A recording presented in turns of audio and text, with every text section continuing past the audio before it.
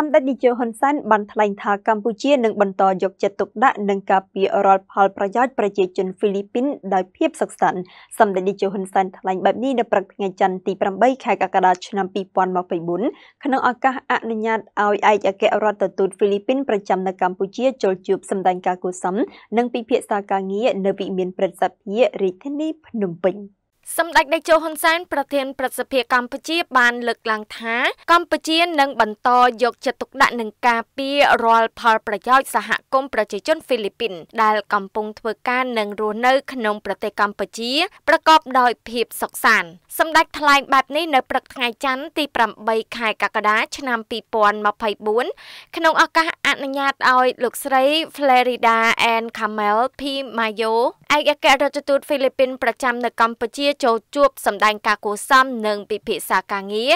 នៅវិមានប្រសិទ្ធិរាជធានីភ្នំពេញសម្ដេចតេជោប្រធានប្រសិទ្ធិបានសម្ដែងការស្វាគមន៍និងអបអរសាទរយ៉ាងកក់ក្ដៅជូនដល់លោកស្រីអគ្គរដ្ឋទូតដែលត្រូវបានតែងតាំងជាឯកអគ្គរដ្ឋទូតវិសាមញ្ញនិងពេញសមត្ថភាពនៃប្រទេសហ្វីលីពីនប្រចាំកម្ពុជាសម្ដេចមានជំនឿថាលោកស្រីអគ្គរដ្ឋទូតនឹងខិតខំបន្តបេសកកម្ម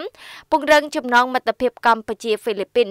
និងកិច្ចសហប្រតិបត្តិការដែលមានស្រាប់ឲ្យកាន់តែល្អប្រសើរថែមទៀតនិងជាពិសេសកិច្ចសហប្រតិបត្តិការនៅក្នុងក្របខ័ណ្ឌគ្រួសារអាស៊ាន ដើម្បីចូលរួមថែរក្សាសន្តិភាព និងដោះស្រាយបញ្ហាប្រឈមនៅក្នុងតំបន់អាស៊ាន ចំពោះបញ្ហាអ ுக ្រិតកម្មតាមប្រព័ន្ធអ៊ីនធឺណិតការបោកប្រាស់អនឡាញនិងការជួញដូរមនុស្សសម្ដេចតេជោបានគ្រប់គ្រងឲ្យអាជ្ញាធរមានសមត្ថកិច្ចនៃប្រទេសទាំងពីរខិតខំធ្វើការរួមគ្នាដើម្បីធ្វើការបង្ក្រាបនិងទប់ស្កាត់ប្រកបដោយប្រសិទ្ធភាពខ្ពស់លើក្រុមអ ுக ្រិតជនតាមប្រព័ន្ធអ៊ីនធឺណិតនេះដែលកន្លងមកតែងចល័តទៅមកក្នុងចំណោមប្រទេសអាស៊ាននិងបានធ្វើឲ្យខូចឈ្មោះប្រទេសកម្ពុជានិងហ្វីលីពីនសម្ដេចក៏បានប្រាប់ទៅលោកស្រីអគ្គរដ្ឋទូតបន្ថែមថាកម្ពុជានឹងបន្តយកចិត្តទុកដាក់នឹងការពាររាល់ផលប្រយោជន៍សហគមន៍ប្រជាជនហ្វីលីពីន ដែលកំពុងធ្វើការនិងរស់នៅក្នុងប្រទេសកម្ពុជាប្រកបដោយភាពសុខសាន្ត នៅក្នុងជំនួបនេះលោកស្រីអគ្គរដ្ឋទូតហ្វីលីពីនបានថ្លែងអំណរគុណយ៉ាងស្មោះស្ម័គ្រចំពោះសម្ដេចតេជោនិងចាត់ទុកថានេះជាកិត្តិយសដ៏ធំធេង ដែលសម្ដេចបានអនុញ្ញាតឲ្យលោកស្រីបានគោរពជួបសម្ដែងការកុសលក្រោយពីលោកស្រីបានថ្វាយសាតាំងចំពោះព្រះករណាព្រះមហាក្សត្ររួចមកលោកស្រីក៏បានពំនាំនៅសេចក្តីអំណរគុណរបស់លោកប្រធានព្រឹទ្ធសភាហ្វីលីពីនឆ្លើយតបនឹងលិខិតអបអរសាទរយ៉ាងកក់ក្ដៅ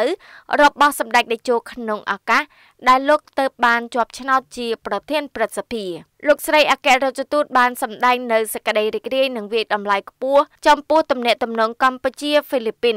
ដែលកាន់តែរីកចម្រើននិងរឹងមាំនាពេលកន្លងមក តាមរយៈជំនួបជាបន្តបន្ទាប់នៃថ្នាក់ដឹកនាំប្រទេសទាំងពីរគឺជំនួបរវាងសម្ដេចតេជោនិងប្រធានាធិបតីហ្វីលីពីន លោកម៉ាកូសក្នុងឆ្នាំ2022ជំនួបរវាងសម្ដេចធិបតីនិងលោកប្រធានាធិបតីឆ្នាំ2023នៅទីក្រុងហ្សាកាតា និងចុងក្រោយបំផុតថ្មីថ្មីនេះក្នុងឆ្នាំ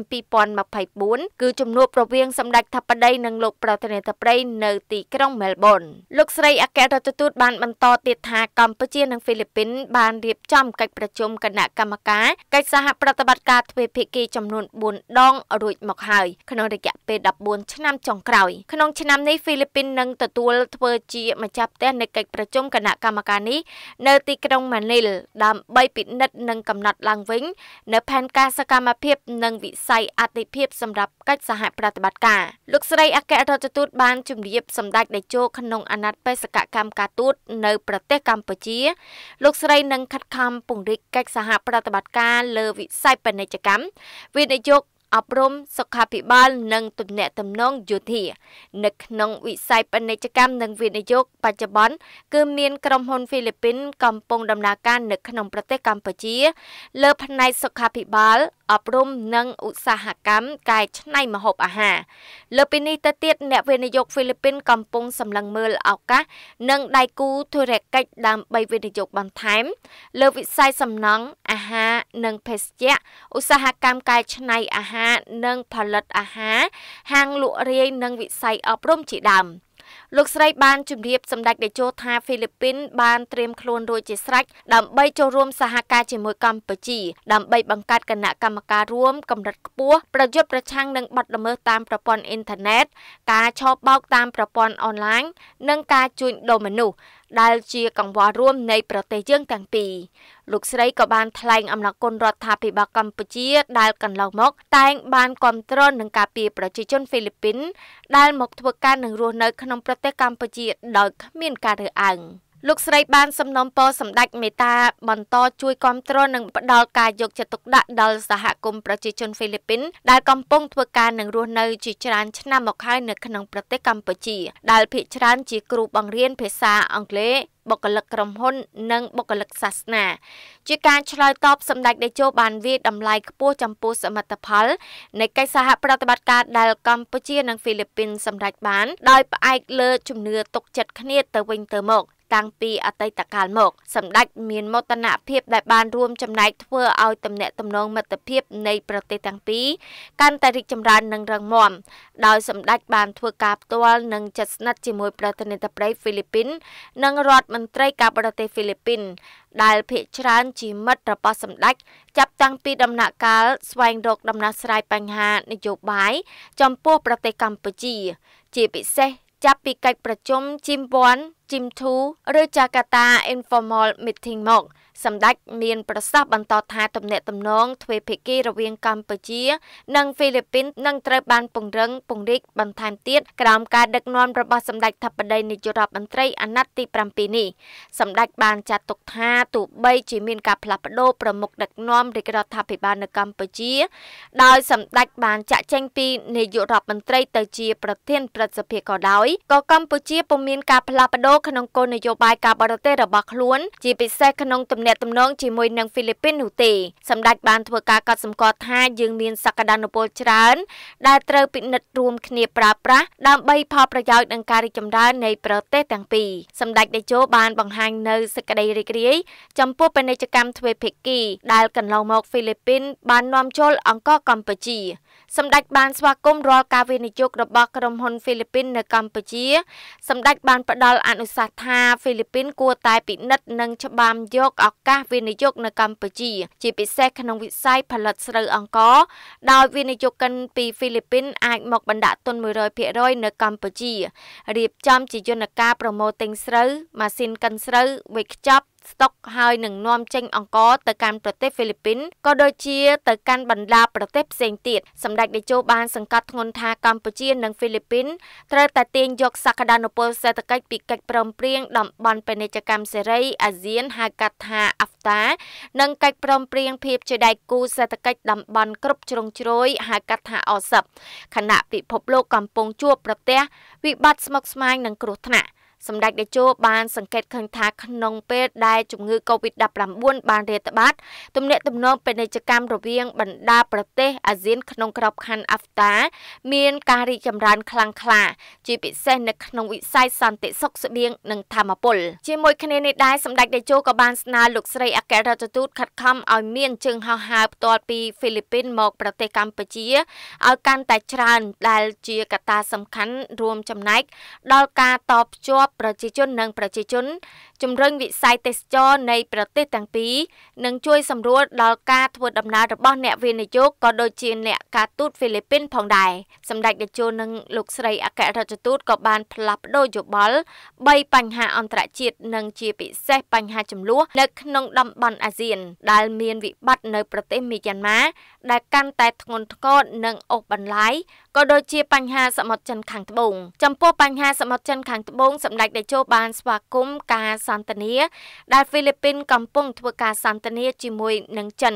ក៏ដូចជាបណ្ដាប្រទេសពាក់ព័ន្ធមានវៀតណាមលាក់និងលាក់ដើម្បីបន្ធូរបន្ថយភាពតានតឹង និងស្វែងរកដំណោះស្រាយដ៏ជាក់លាក់មួយនៅក្នុងការសម្រួលសភាពការនៅក្នុងតំបន់សមុទ្រចិនខាងត្បូងនេះសម្ដេចតេជោក៏បានសង្កត់ធ្ងន់ថា ដើម្បីឈានទៅរកដំណោះស្រាយជាស្ថាពរត្រូវ ចំណុចទី1គឺភាគីទាំងអស់នៅក្នុងតំបន់សមុទ្រចិនខាងត្បូងត្រូវគោរពនិងអនុវត្តឲ្យបានខ្ជាប់ខ្ជួននៅ DOC ដែលបានចុះហត្ថលេខានៅរាជធានីភ្នំពេញកាលពីឆ្នាំ2002ចំណុចទី2ស្នើសុំឲ្យភាគីពាក់ព័ន្ធនៅសមុទ្រចិនខាងត្បូងធ្វើការសម្របសម្រួលគ្នាដើម្បីជៀសវាងចំនួនណាមួយ ហើយពិភាក្សាប្រកបដោយនៃស្ថាបនាជៀសវាងមានភាពតានតឹងក្នុងតំបន់ ចំណុចទី3គឺជំរុញទូនាទីរបស់អាស៊ាននិងបណ្ដាប្រទេសពាក់ព័ន្ធធ្វើការចរចាដើម្បីឈានទៅសម្រេចបាននៅក្រមប្រតិបត្តិ COC ឲ្យបានឆាប់សម្ដេចបានចាត់ទុកថាបើ COC បានសម្រេចហើយនោះវានឹងកាត់បន្ថយនៅភាពតានតឹងបណ្ដាប្រទេសនៅក្នុងតំបន់នឹងមានជំនឿទុកចិត្តគ្នាទៅវិញទៅមកហើយសមុទ្រចិនខាងត្បូងអាចคล้ายជាច្រកដ៏សំខាន់មួយសម្រាប់ពាណិជ្ជកម្មរវាងបណ្ដាប្រទេសនៅក្នុងតំបន់ក៏ដូចជាអន្តរ ជាតិលោកស្រីអគ្គរដ្ឋទូតបានជម្រាបសម្ដេចប្រធានថាអររយៈពេលជាង42ឆ្នាំដែលលោកស្រីបម្រើការងារនៅក្នុងក្រសួងការបរទេសហ្វីលីពីនលោកស្រីតែងបានតាមដានរាល់ការអភិវឌ្ឍរបស់ប្រទេសកម្ពុជាក្នុងនោះលោកស្រីតែងបានកោតសរសើរនិងស្ញប់ស្ញែងចំពោះសក្តីស្រឡាញ់ដ៏ស្មោះស្ម័គ្ររបស់សម្ដេចតេជោមានចំពោះសហគមន៍អាស៊ានលើពីនោះសម្ដេចតេជោគឺជាកម្លាំងមគ្គុទ្ទេសក៍បង្ហាញផ្លូវដល់អាស៊ាននិងបានរួមចំណែកយ៉ាងច្រើនដល់ការវិវត្តរបស់អាស៊ាន ជាថ្មីម្ដងទៀតលោកស្រីសូមថ្លែងអំណរគុណសម្ដេចដែលបានអនុញ្ញាតឲ្យលោកស្រី ចូលជួបនិងទទួលបានចំណេះដឹងជាច្រើន ពីការសន្ទនាជាមួយសម្ដេចក្នុងឱកាសនេះជាទីបញ្ចប់សម្ដេចតេជោប្រធានប្រសិទ្ធិបានផ្ដាំផ្ញើការសួរសុខទុក្ខតាមរយៈលោកស្រីអគ្គរដ្ឋទូតជូនទៅលោកប្រធានប្រសិទ្ធិនិងលោកប្រធានាធិបតីហ្វីលីពីនព្រមទាំងជូនពរលោកស្រីអគ្គរដ្ឋទូតនិងសហការីនៃស្ថានទូតហ្វីលីពីនប្រចាំនៅកម្ពុជាទទួលបាននៅសេចក្តីសុខសប្បាយនិងសុខភាពល្អក្នុងការស្នាក់នៅនិងបំពេញបេសកកម្មនៅកម្ពុជា